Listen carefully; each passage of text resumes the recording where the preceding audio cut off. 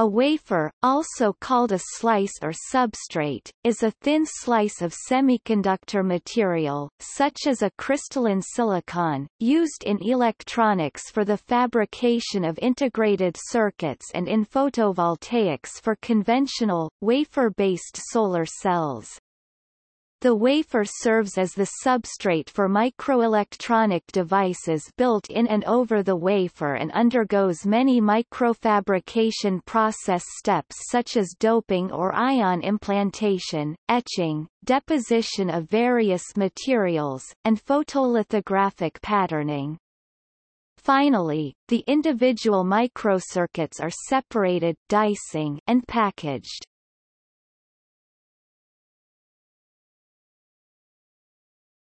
Topic: History. By 1960, silicon wafers were being manufactured in the U.S. by companies such as MEMC, SunEdison. In 1965, American engineers Eric O. Ernst, Donald J. Hurd, and Gerard Seeley, while working under IBM, filed patent US 3423629A for the first high-capacity epitaxial apparatus.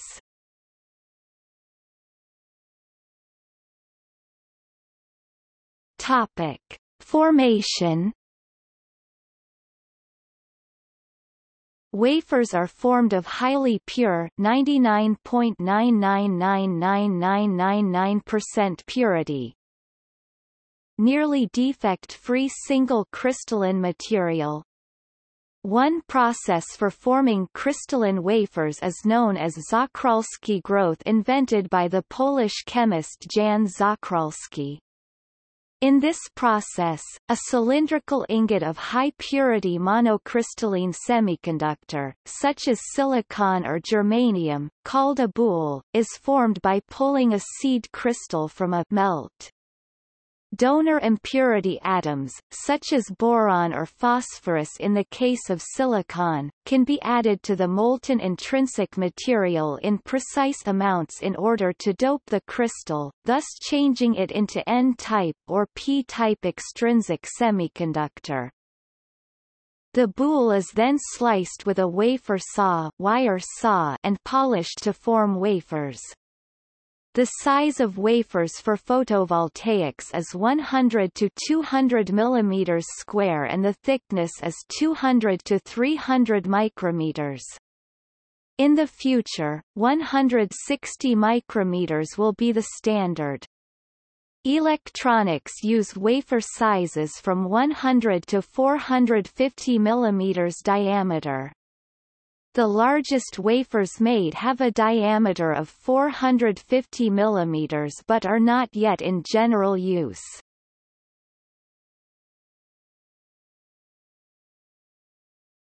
Topic. Cleaning, texturing and etching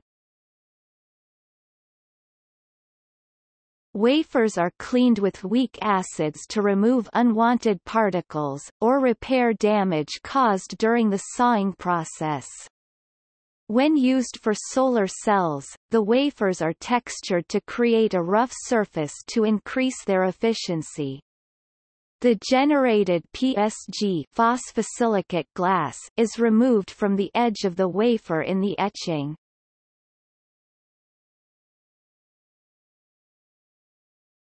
Topic: Wafer properties.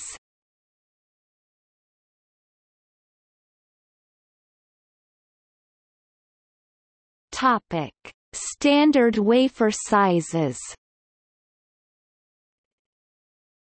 Silicon wafers are available in a variety of diameters from 25.4 mm 1 inch to 300 mm 11.8 inches.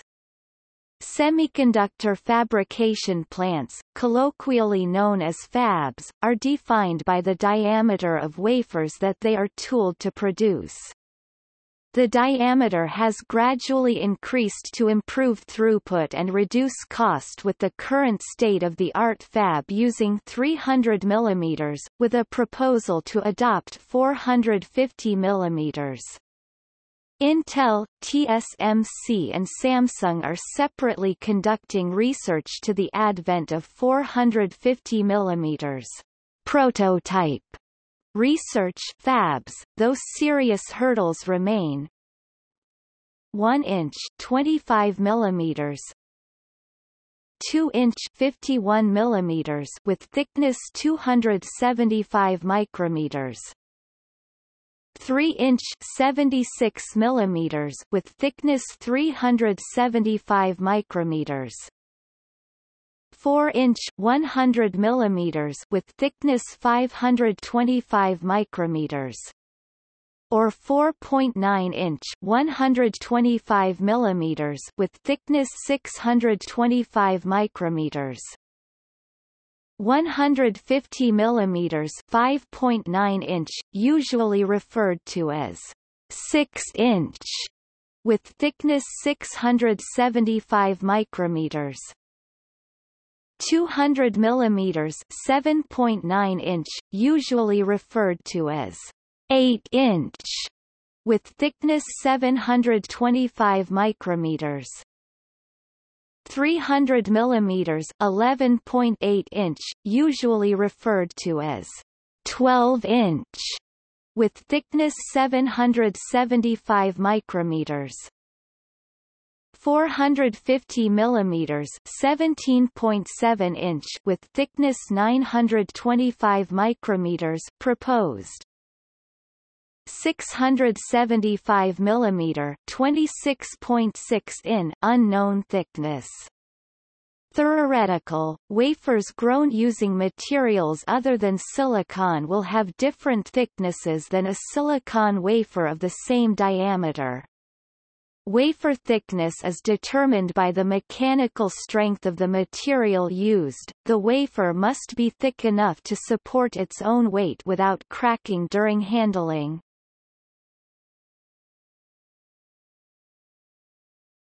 Topic: Historical increases of wafer size.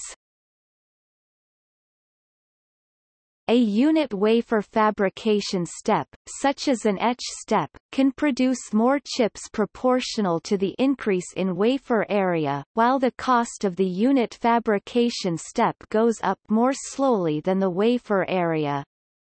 This was the cost basis for increasing wafer size.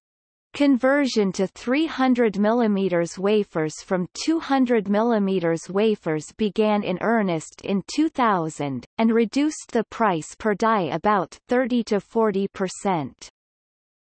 However, this was not without significant problems for the microelectronics or chip, or other similar name industry.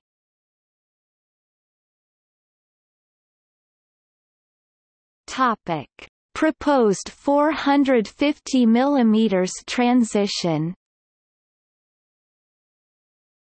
There is considerable resistance to the 450 mm transition despite the possible productivity improvement, because of concern about insufficient return on investment. Higher-cost semiconductor fabrication equipment for larger wafers increases the cost of 450 mm fabs semiconductor fabrication facilities or factories. Lithographer Chris Mack claimed in 2012 that the overall price per die for 450 mm wafers would be reduced by only 10 to 20% compared to 300 mm wafers, because over 50% of total wafer processing costs are lithography related. Converting to larger 450 mm wafers would reduce price per die only for process operations such as etch where cost is related to wafer count, not wafer area. Cost for processes such as lithography is proportional to wafer area, and larger wafers would not reduce the lithography contribution to die cost. Nikon planned to deliver 450 mm lithography equipment in 2015, with volume production in 2017.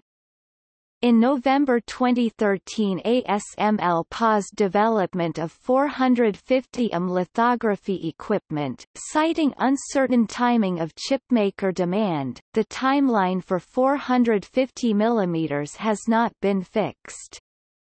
Mark Durcan, then CEO of Micron Technology, said in February 2014 that he expects 450 mm adoption to be delayed indefinitely or discontinued. I am not convinced that 450 mm will ever happen but, to the extent that it does, it's a long way out in the future. There is not a lot of necessity for Micron, at least over the next five years, to be spending a lot of money on 450 mm.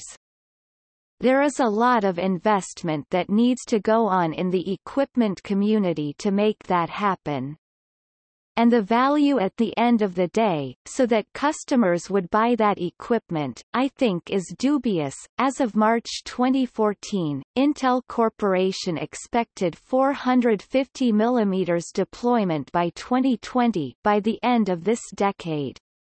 Mark LaPedus of SemiEngineering.com reported in mid-2014 that chipmakers had delayed adoption of 450 mm for the foreseeable future. According to this report some observers expected 2018 to 2020, while G. Dan Hutcheson, chief executive of VLSI Research, didn't see 450 mm fabs moving into production until 2020 to 2025. The step up to 300 mm required major changes, with fully automated factories using 300 mm wafers versus barely automated factories for the 200 mm wafers, partly because a FOUP for 300 mm wafers weighs about 20 pounds when loaded with 25,300 mm wafers where a SMIF interface weighs about 10 pounds when loaded with 25,200 mm wafers, thus requiring twice the amount of physical strength from factory workers, and increasing fatigue.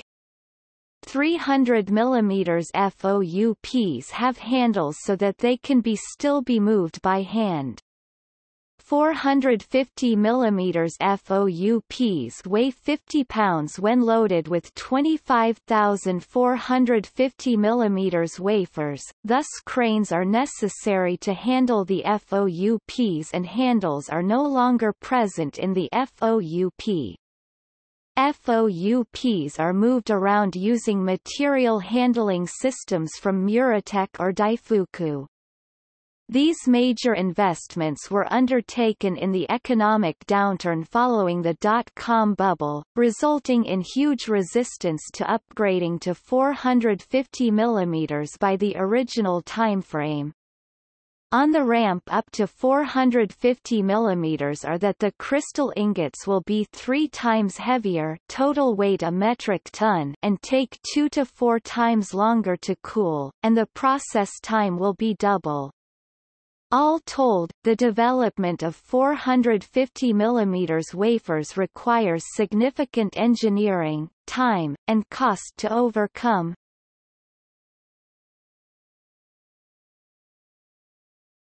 Topic: Analytical die count estimation. In order to minimize the cost per die, manufacturers wish to maximize the number of dies that can be made from a single wafer. Dies always have a square or rectangular shape due to the constraint of wafer dicing.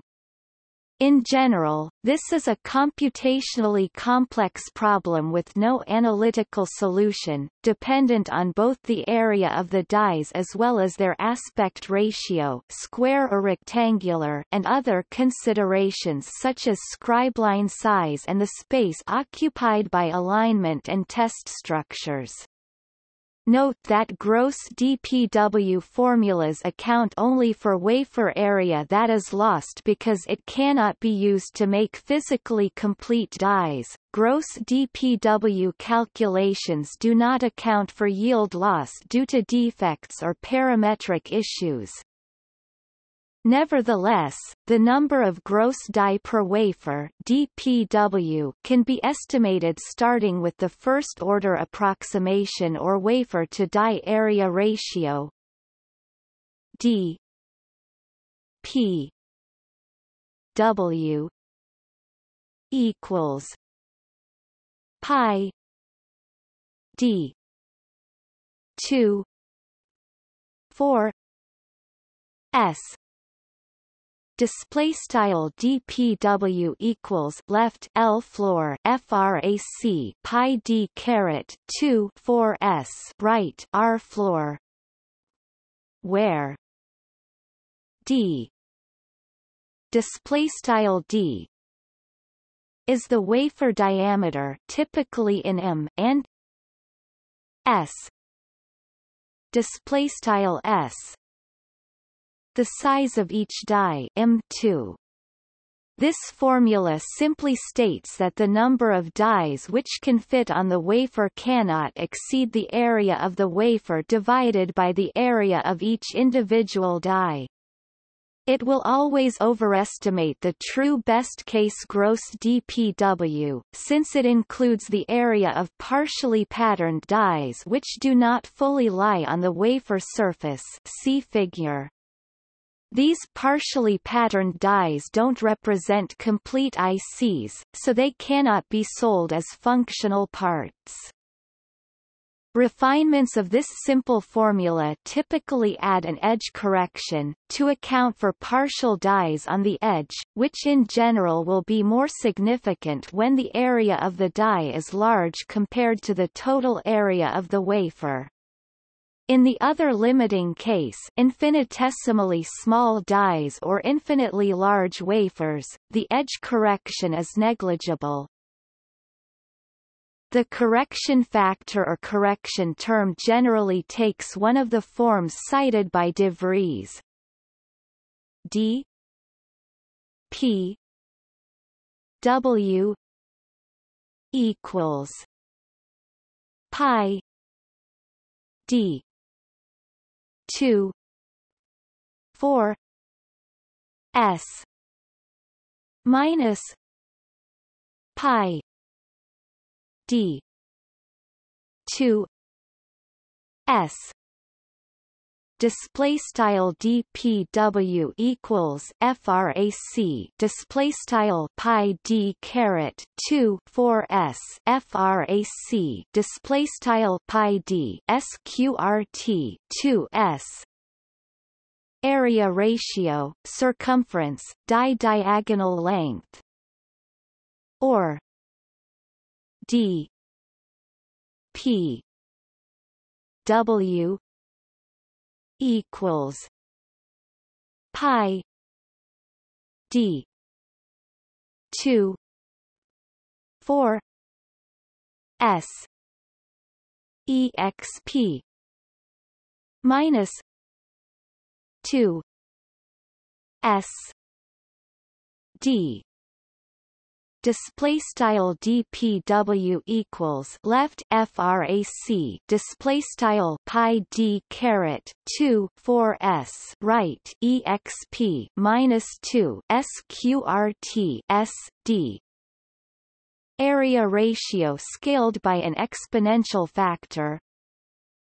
Or d p w equals pi d 2 4 s 1 minus 2 s d 2 display style dpw equals frac display style pi d caret 2 4 s left 1 frac display style 2 sqrt s d right caret 2 area ratio scaled by a polynomial factor. Studies comparing these analytical formulas to brute force computational results show that the formulas can be made more accurate, over practical ranges of die sizes and aspect ratios, by adjusting the coefficients of the corrections to values above or below unity, and by replacing the linear die dimension s display style sqrt s with h plus w 2 display style h plus w 2 average side length in the case of dies with large aspect ratio d p W equals pi D two four S minus zero point five eight pi D S display style dpw equals frac display style pi d caret 2 4 s minus 0 58 caret asterisk frac display style pi d sqrt s. Or d p w equals pi d 2 4 s exp minus 2.32 s d display style dpw equals left frac display style pi d caret 2 4 s right exp minus 2.32 caret asterisk sqrt s d. Or d p w equals pi D. two. four. S. one. minus one point one six S D two display style dpw equals frac display style pi d caret 2 4 s left 1 frac display style 1.16 caret asterisk sqrt s d right caret 2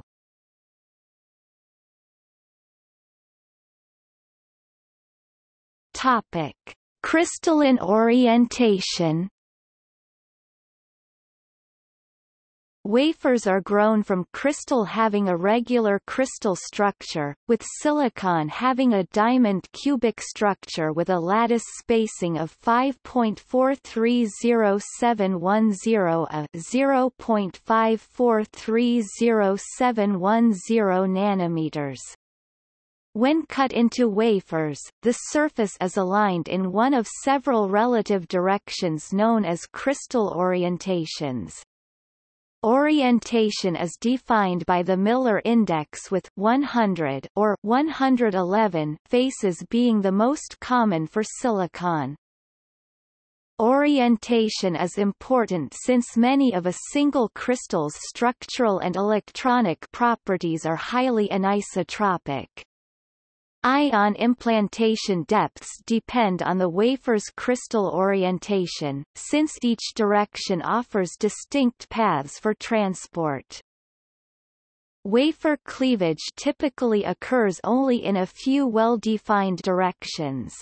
Scoring the wafer along cleavage planes allows it to be easily diced into individual chips dies, so that the billions of individual circuit elements on an average wafer can be separated into many individual circuits.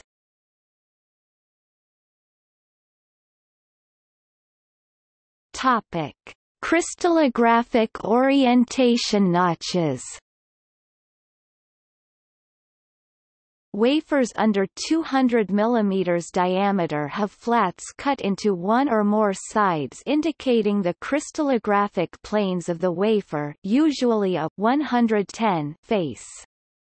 In earlier generation wafers a pair of flats at different angles additionally conveyed the doping type see illustration for conventions. Wafers of 200 mm diameter and above use a single small notch to convey wafer orientation, with no visual indication of doping type.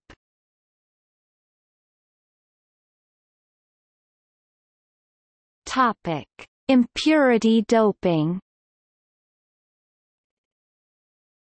Silicon wafers are generally not 100% pure silicon, but are instead formed with an initial impurity doping concentration between 1013 and 1016 atoms per cc of boron, phosphorus, arsenic, or antimony which is added to the melt and defines the wafer as either bulk N-type or P-type.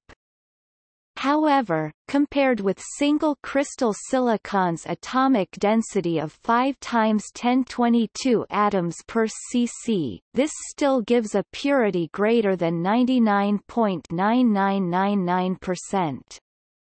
The wafers can also be initially provided with some interstitial oxygen concentration. Carbon and metallic contamination are kept to a minimum.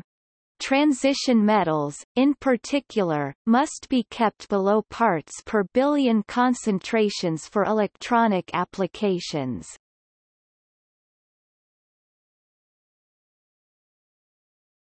Topic: Compound semiconductors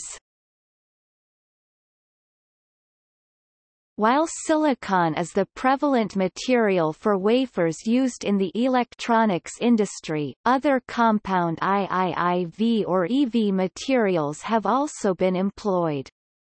Gallium arsenide gallium-3 arsenide, IIIV semiconductor produced via the Czochralski process, is also a common wafer material.